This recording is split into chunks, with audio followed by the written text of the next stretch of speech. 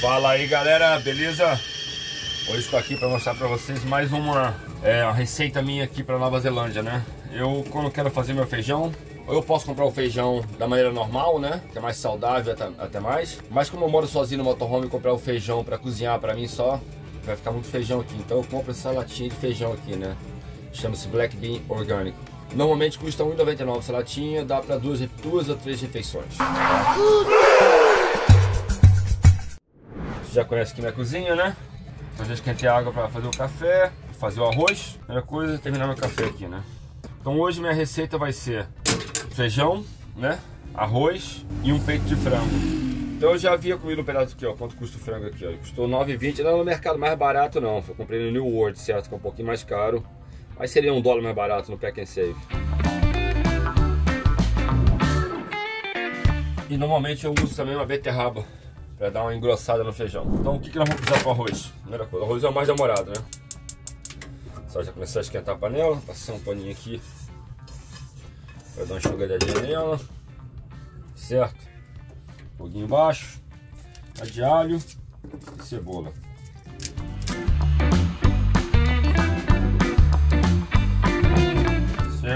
4 centinhos de alho tá bom, vou botar 5, né?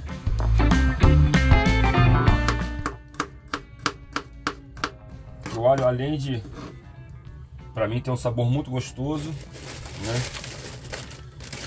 Como eu já falei outra vez, eu vou fazer o feijão. Tá aqui atrás.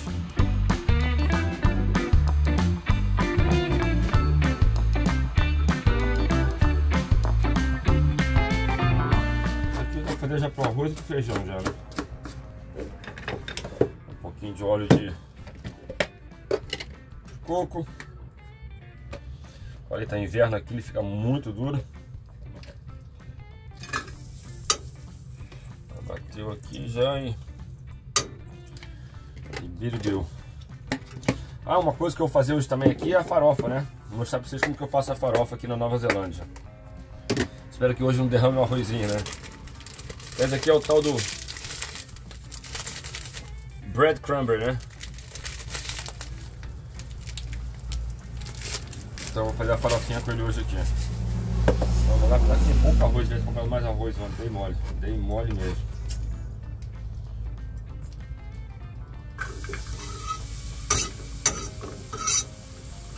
Pegar o temperinho, aquele salzinho com alho. Aqui tá o outro sal do Himalaia, né? O sal rosa. Dou refogado no arroz, já começo a preparar o feijão também aqui, ó. Eu vou botar o feijão aqui também. Vou jogando o feijão aqui. Feijão aqui que eu vou precisar do bacon, fritar, começar a fritar primeiro o bacon, né? Pegar esse arroz aqui logo. A gente já fica livre do arroz.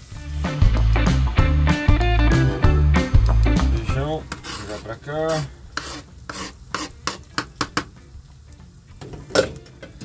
Pegar o bacon. Dá aquela picada boa no bacon, né? Pega dois pedaços aqui bons.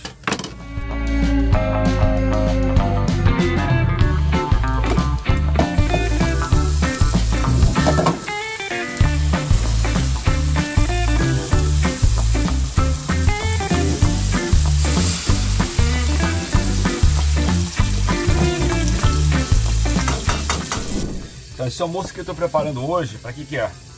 Eu vou trabalhar na fazenda de abacate, né? Eu já levo minha quentinha para lá. Primeiro para comer uma comida saudável e segundo que você não precisa gastar um dinheiro alto comendo na rua, né? É aquela coisa sempre tentando economizar para poder gastar em coisas melhores, em viagens, em passeios, restaurantes, quando for viajar.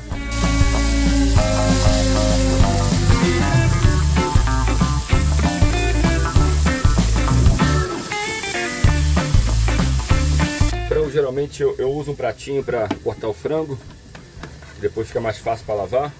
Aí o que, que eu faço com o frango? Eu geralmente eu corto ele no meio aqui assim, ó. Vem aqui, segura, sei que é a forma errada, mas como não tem muito espaço aqui, né? Corto no meio, separo em dois filés. Aí eu venho aqui, ó, pego um limãozinho, corto ao meio. Como o limão tem muito caroço, o que, que eu faço? Eu boto a mão embaixo, ó. Você pode usar uma peneirinha também se você quiser. Mas eu boto a mão embaixo.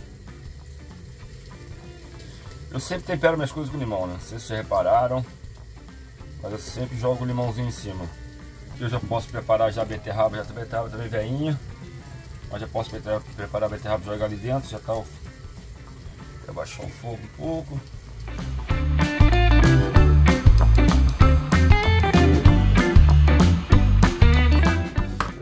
Faço ela bem picadinho para que elas mandem um sumo no feijão, né? A minha filha me mandou um vídeo falando que não é bom botar beterraba no feijão não. Mas como meus avós faziam, minha mãe fazia, eu vou continuar seguindo um pouco a receita dos mais velhos, né?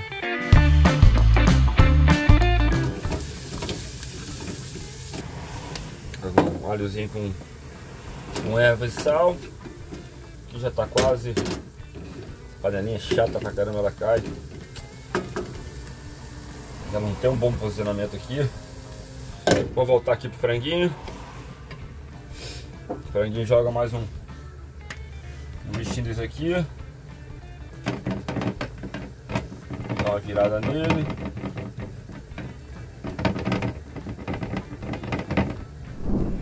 Aí agora vou pegar o feijão, um passe mágica.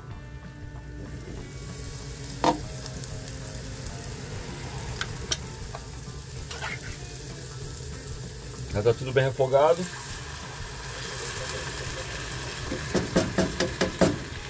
Jogo ele aqui dentro, dou uma misturadinha para pegar né, o tempero em todo mundo.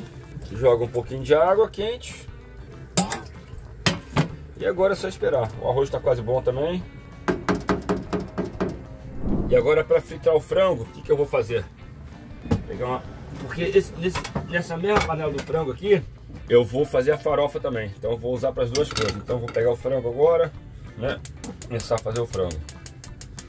É uma coisa muito prática, entendeu? Muito prática mesmo. Leva meia hora para fazer tudo. O feijãozinho já tá começando a pegar já, ó. Fazer a fusão entre eles aqui já. Dá aquela raladinha na cenoura também para jogar no arroz. Eu só vou tirar a casca da metade da cenoura, né? Cenourinha.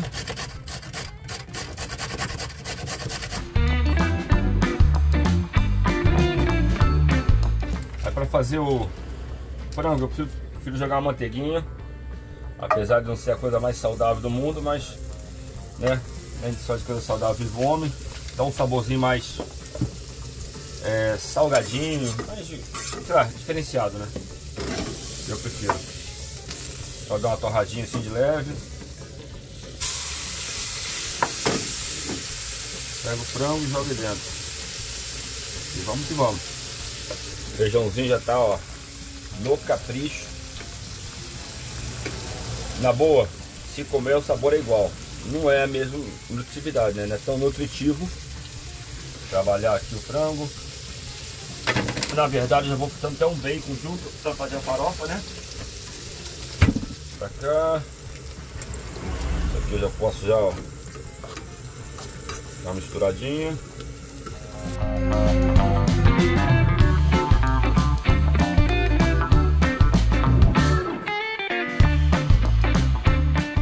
Como, eu, como você sabe, eu gosto muito de cogumelo, né? Vou jogar um cogumelo aqui no frango também.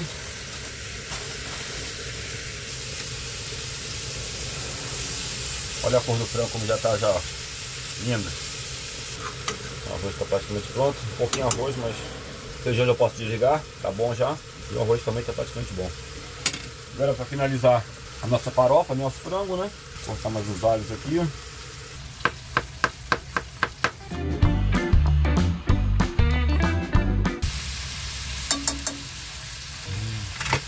Pode cortar o cogumelo. Aí o que, eu vou fazer agora? Tem franguinho, dar um pouquinho mais. Pegar ali uma pimentinha por cima. Agora eu vou pegar meu tapoé, né? E começar a preparar minha quentinha. Então vamos lá. Eu geralmente gosto do arroz por baixo, né? Agora eu coloco o feijão aqui dentro. Feijãozinho. No capricho, olha só. Baixo fogo aqui. Pego o frango. Jogo ele por cima.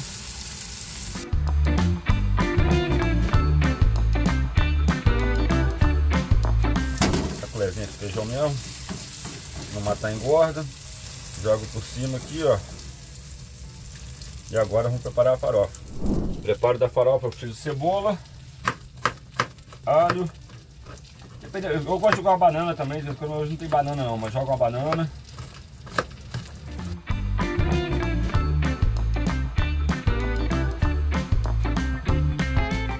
Jogar uma margarina. Vou afogar isso aqui também, né?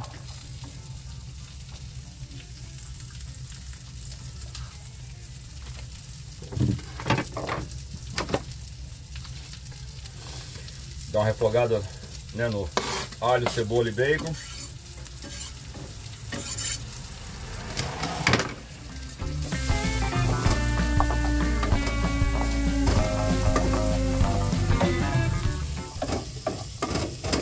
Bacon tá bem torradinho. Cara, muito boa, muito boa mesmo. Hum. Hum. O que eu vou fazer agora? Pegar dois ovos. Pegar a manteiga.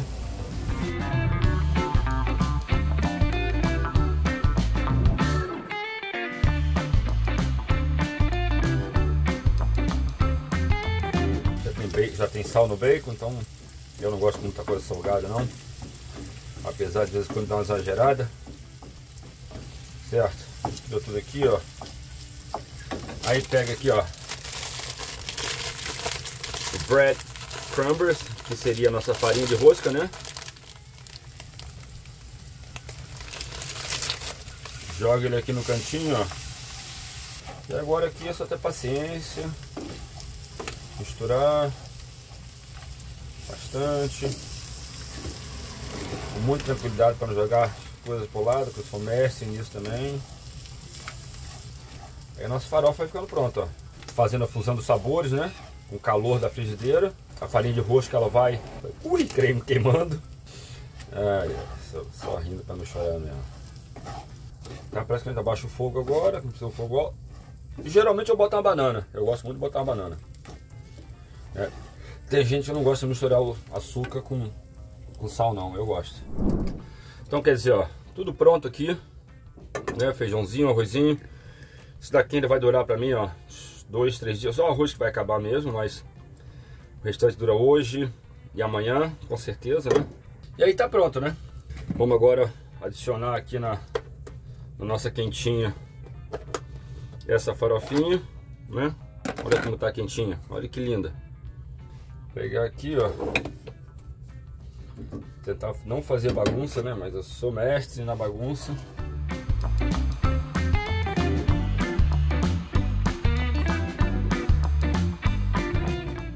Chega, tampou. Tá uma baguncinha mais ou menos aqui, generalizada, né? Mas a gente vai limpar agora.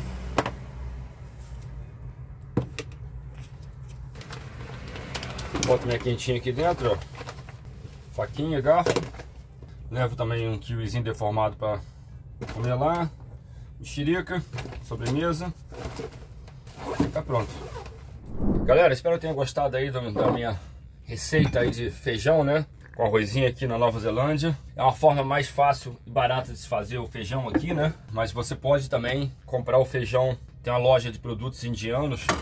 E tem outra loja também aí que chama, acho que Binho, alguma coisa. Que você acaba encontrando feijão preto, feijão carioca, feijão marrom. Todo tipo de feijão. Mas como eu falei, como eu moro sozinho, fazer uma panela de pressão só pra mim é complicado. Eu como feijão, tipo assim, uma vez por semana, duas vezes por semana no máximo. Então, quer dizer, não, não compensa fazer muito feijão pra mim, né? Então eu prefiro fazer desse jeito, que não é a forma mais saudável, mas é a forma mais barata e mais simples de fazer. Se eu comesse feijão todo dia, aí tudo bem, até faria ele da forma normal, com a panela de pressão, cozinharia, tal, tal, tal. mas a facilidade de fazer na latinha é muito mais simples, né? E muito mais barato também. Mostrar para vocês aí mais um, um belo dia aqui.